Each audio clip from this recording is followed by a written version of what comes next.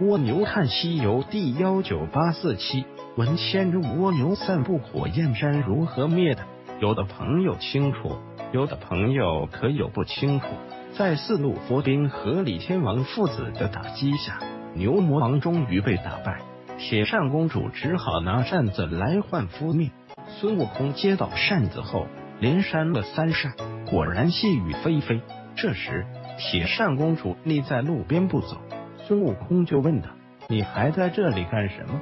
铁扇公主说：“希望把扇子还我。”猪八戒吼道：“你这个贱人不知高低，饶了你的命就不错了，还要回什么扇子？”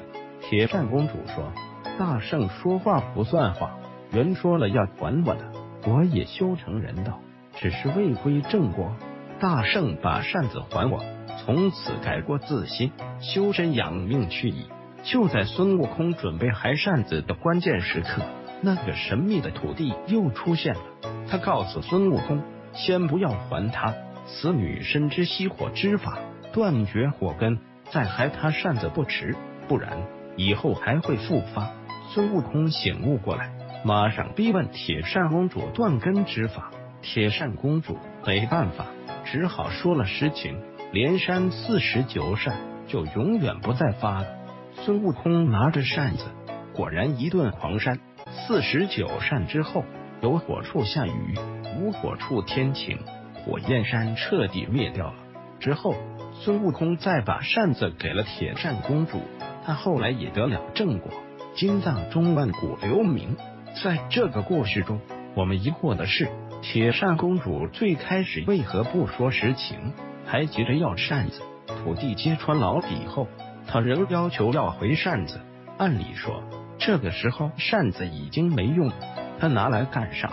首先要说的是，在真实的地理中，也是有火焰山的，就在新疆一带。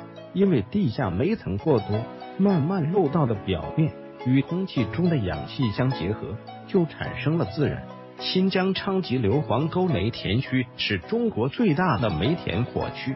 面积达一百八十三平方米，燃烧时间达百年之久，烧掉原煤四千余万吨。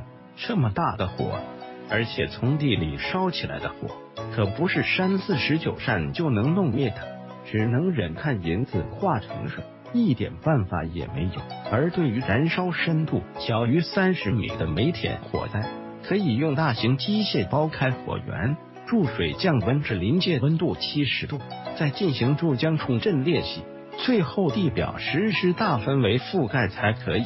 大家看看，这火焰山要真正灭掉火，可不是那么容易的事。回到刚才的话题，铁扇公主从一开始其实就不相信能灭掉火的，或者说，她只相信三扇子能暂时扇灭大火，第二年又会复燃。那么七七四十九扇能灭火，他怎么知道的呢？要么是祖上流传下来的，要么是某位大神告诉他的。